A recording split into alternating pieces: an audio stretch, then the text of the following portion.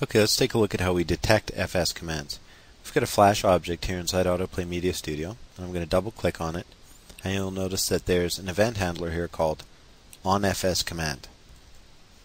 Now this is essentially how we detect FS commands inside Autoplay Media Studio, and it's done automatically. Whenever an FS command is fired from a Flash movie, the Autoplay Media Studio uh, application will automatically detect that an FS command has been fired.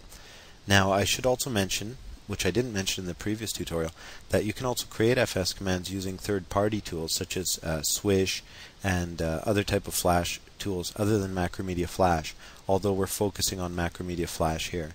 So it would still be created in the same way, but basically um, it's just a, a different piece of software. But the syntax is always the same. It's just the FS command and then the name or the name of the argument. Okay, so now that I've cleared that up, let's get back to what we were discussing here, which is the um, detection of FS commands. So we've got this on FS command area here, and you'll notice that there's a, a couple of built-in event variables here. The string fs command and the string efs args.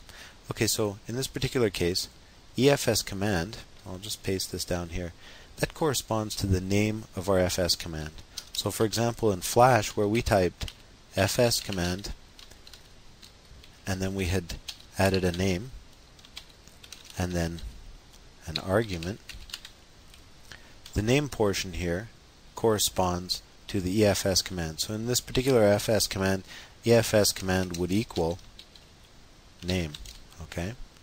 And in this particular case, EFS args refers to the argument portion. So in our example here, just by way of illustration, EFS args would actually equal argument. Okay? If I change this first portion to say label, then our EFS command would be label.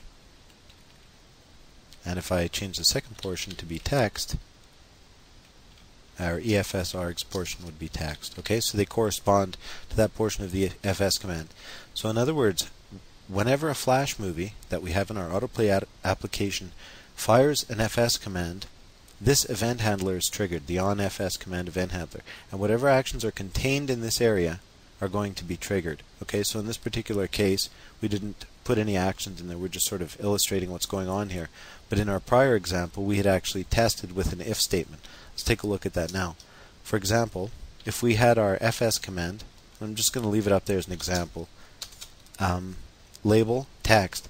If we were trying to test to what see whether the name was label, we would actually set up an if statement where we said if efs command equals label, then, and we would put it in the end statement. And anything that we put in the middle portion here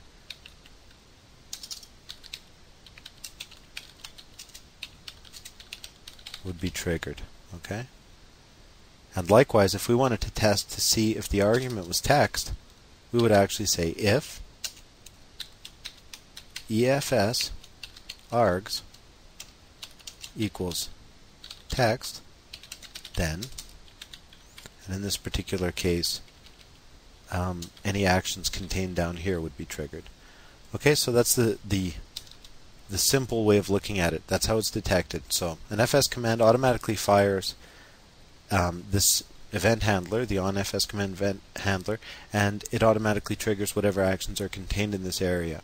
So if you have, for example, a Flash movie with an FS command every 10 frames, then in your Autoplay Media Studio application, this onFS command event handler is automatically going to fire every 10 frames.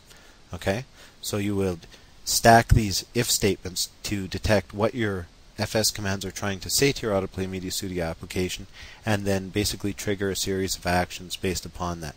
And you can put anything in between these if statements here. You can put functions, actions, tables, and so forth. Anything you like. Okay, so it's quite powerful. You can extend this idea as far as you need to.